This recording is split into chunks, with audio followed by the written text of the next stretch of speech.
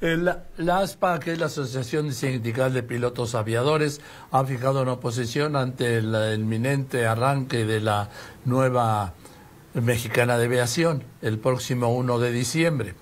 ¿Qué está diciendo la ASPA? Primero, que los pilotos tienen que ser de esta agrupación, sindicalizados.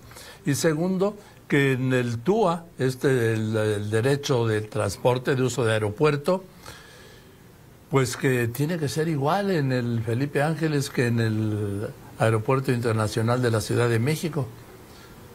Pero pues no puede ser igual porque lo que pasa es que este, estos derechos de uso del aeropuerto no son para el Aeropuerto Internacional de la Ciudad de México, sino son para pagar a los bonistas que se les deben más de 4 mil millones de dólares del cancelado aeropuerto del Naim. Todavía. Bueno, le aprecio mucho al capitán Humberto Gual Ángeles, secretario general del ASPA, que me haya aceptado esta llamada esta tarde. Capitán Gual, gracias, buenas tardes. ¿Qué tal, Joaquín? ¿Cómo estás? Muy buenas tardes. Un fuerte saludo aquí a todo el auditorio y aquí todavía cristiano a mis primos que perdieron, hombre. O sea, no me digas, no me toques ese vals. A ver, capitán, ¿qué va a pasar con la nueva línea aérea? El presidente anunció, confirmó que el 1 de diciembre, o sea, octubre y noviembre, dentro de 57 días, arranca y empieza a funcionar. Eh, mira, eh, primero que nada de lo que platicabas en un principio de la conversación, eh, nosotros, como tú bien lo sabes, acompañamos muy de cerca el proceso de Mexicana de Aviación y si bien es cierto que la misma ley federal del trabajo, la actual administración, ha visto por el bien de los trabajadores, nosotros vemos con cierta extrañeza y con cierta preocupación en que no quieran tener personal sindicalizado, vaya es un contrasentido en la misma administración pública. Por un lado la ley federal del trabajo y por el otro lado la aerolínea que es del Estado, eh, sea la que se opone a que los trabajadores sean sindicalizados, bueno, pues nosotros sí lo vemos con un, dejo de, preocupación y evidentemente tendremos que ir conforme dice la ley por la contratación colectiva. ¿Y qué van a hacer? Bueno, nosotros vamos a solicitar de inmediato la titularidad del contrato colectivo en una de las este, de los comunicados que hizo la mexicana, la, la aerolínea para estatal o la estatal, perdón, eh, dicen que no quieren que la contratación va a ser a través de ellos sin personal sindicalizado. Nosotros lo vemos ahí eh, como una, una, un hecho que no habíamos pactado con el gobierno. Inclusive el mismo gobierno nos había dado la facilidad de que los pilotos y los trabajadores fueran integrados de, por parte de nosotros los sindicatos y bueno, lo vamos a vamos a pelear conforme lo dice la ley, buscar la, la contratación colectiva.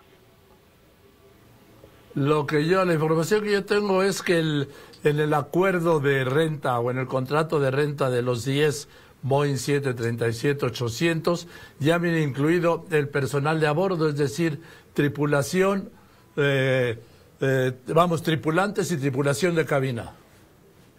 Es, es una de, de las posibilidades que ellos tienen. Yo nosotros consideramos que era única y exclusivamente como se hace en todas las aerolíneas para dar el, inicio, el arranque, las los asesorías, eh, traes personal externo de las aerolíneas para que ellos les den la capacitación al, digamos, al pie veterano de los trabajadores pero, pero la constitución política de los Estados Unidos mexicanos dice que para que tú operes aeronaves con bandera mexicana tienes que ser mexicano de nacimiento y la misma constitución política en sus derechos humanos de, menciona la libre sindicalización y la libertad de asociación.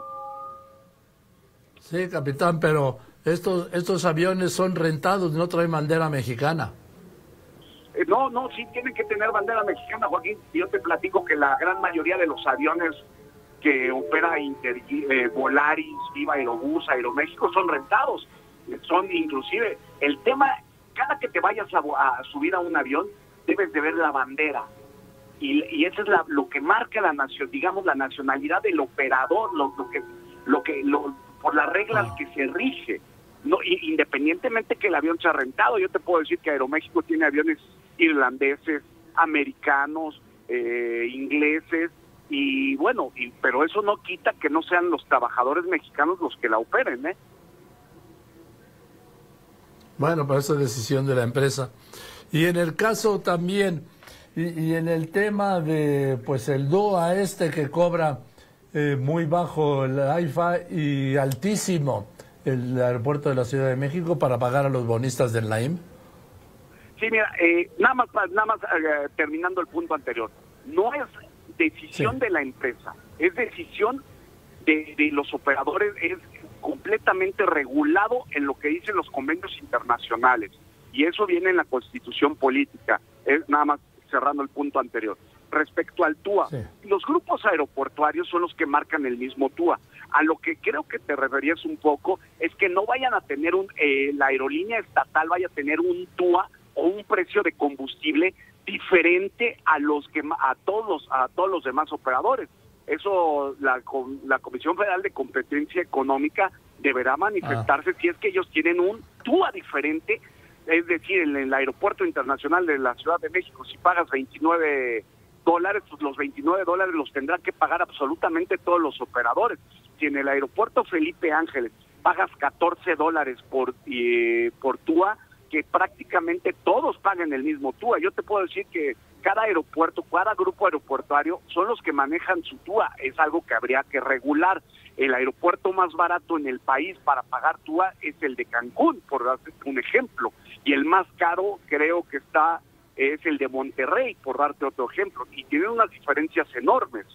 Eh, eh, eso, eso lo entendemos porque así se mueven las concesiones que ha dado el Estado mexicano para los grupos aeroportuarios. Lo que no vemos con, o lo que hay que vigilar con mucha certeza, con mucha tranquilidad, es que prácticamente en donde operen, la ruta que operen, sean los mismos costos de, de combustible, los mismos costos de TUA para absolutamente todos los operadores. Ahora, ¿qué es lo que estamos viendo con los precios bajos? Que nosotros lo vemos bien y no nos espanta y lo vemos normal.